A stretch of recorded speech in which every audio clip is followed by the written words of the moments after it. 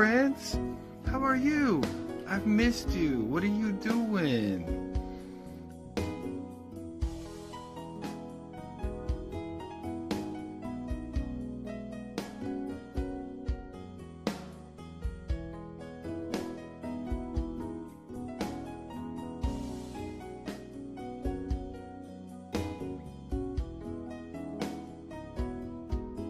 Hi everybody, it's Miss Shannon. I missed you guys so much. I really hope you're having a great time with mommy and daddy at home and you're safe and healthy. We can't wait to see you again.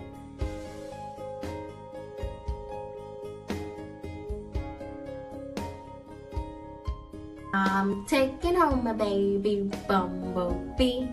Want my mommy be so proud of me. Oh.